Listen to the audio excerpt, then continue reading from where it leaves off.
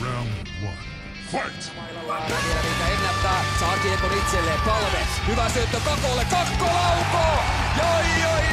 Newcomb made the stop.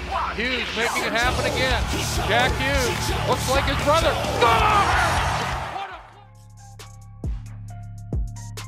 Today I want to talk about the two best players coming up in the NHL entry draft. I want to talk about Jack Hughes and Kaapo Kakko. These are absolutely special hockey players that have their own very unique set of skills. I want to do my best here to avoid hampered cliches like they're generational as I think that's being thrown around a lot and really doesn't mean very much. So I say we start out with an individual scouting report on each guy, maybe give them a little bit of a comparison at the end. Basketball, the one-timer scores! You know it's coming, and you still can't stop it.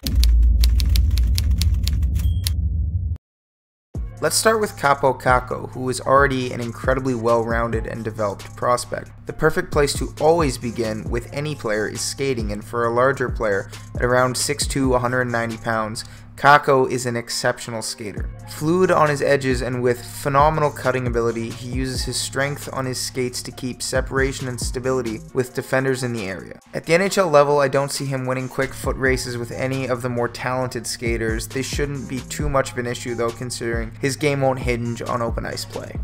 Kakko is a talented puck handler who uses his ability for practical moves instead of for flash. He keeps the puck to his outside step most of the time, making it nearly impossible to dislodge it when you consider that long reach he has. It's also exceptionally hard to even jar the puck loose as he possesses very soft hands keeping the puck in lockstep with him as he lumbers down the half boards.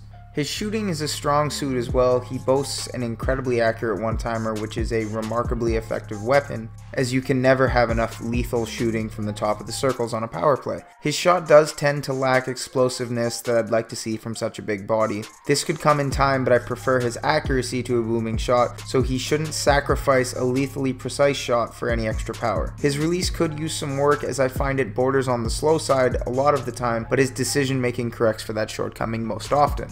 Playmaking vision and IQ are exceptionally high for a player of that age, but when you play with full grown men for multiple seasons, you're forced to mature quickly. Kakko is wonderful at seeing backdoor cutters and streaking players. He's also adept at making a pass, then finding soft spots to get back for his own scoring chance. All this stems from a well developed hockey IQ. These abilities should transfer perfectly to the NHL.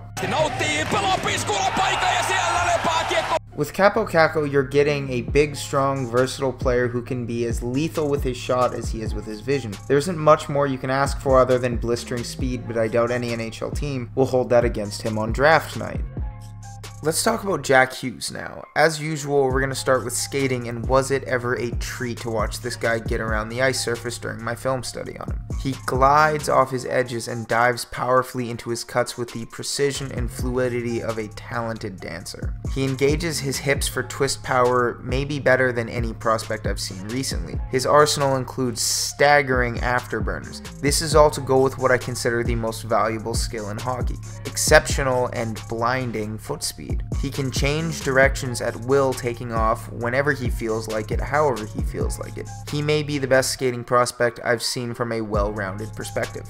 Hughes is a phenomenal puck handler who bridges an interesting gap between mostly set moves and rapid improvisation. He seems to be able to change them at will as he maneuvers around the ice with the puck glued to his stick. The even more impressive thing is that he manages to do it while maintaining great speeds. Unfortunately, he does tend to let his head drift down to the puck and away from the open ice from time to time, which could be costly at the professional level. On top of that, he can get far too move crazy and become a turnover machine at times. These are easily corrected issues with time and effort, though. Jack's shooting is an interesting mix of things I really like and things that scare the life out of me. He has a pretty accurate shot, but with very little power on it most of the time. He picks great spots to shoot from, but his backswing is far too long to get that off when any clever defenders are near. I think he has the ability to be a better shooter with NHL practice, but he will be a 5 to 15 foot shooter for most of his career. Don't expect him to head down the wing and rifle anything past professional caliber goaltenders.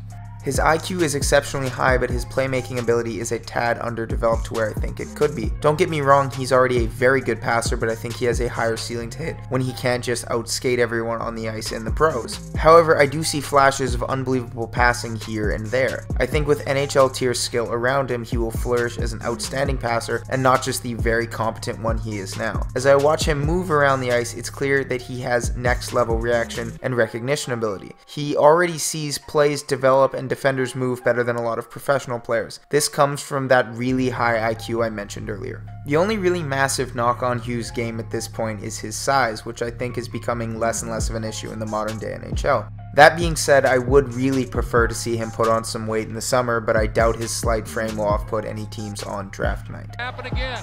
Jack Hughes looks like his brother. Score!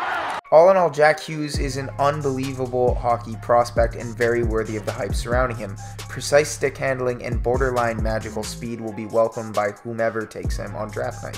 Let's do a really quick comparison and not worry about it too much because at the end of the day, a player's real NHL impact is impossible to determine for a number of factors, including the situation they're dropped into, how they adapt to the game, and how hard they're willing to work once they get to the show. On draft day though, for my money, I would go with Hughes as I believe size is becoming less and less important while pure speed and talent is the hot commodity. That being said, it is entirely possible though that Kakko translates better to the NHL game with his skill set of power precision, playmaking, and size size. I also think a lot of this comes down to how they fit. Do the Devils need more speed or would they prefer more size? Either way, any team would be ecstatic to get one of these incredible players come draft night. What a play by Hughes. Work by one man. Work by two men. Work by another guy. Top shelf, pop the water bottle. What do you guys think though? Who would you take first? Hughes, Kakko, they got speed, skill, power. These guys have a lot of really impressive weapons.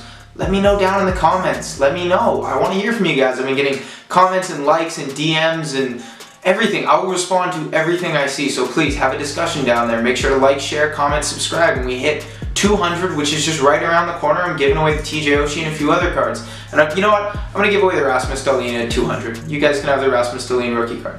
Okay, and at 500, I'm giving away three different Petterssons, a Young Guns, a Rookie, and an Artifact. So make sure keep it coming, guys, and I will see you guys at the next video.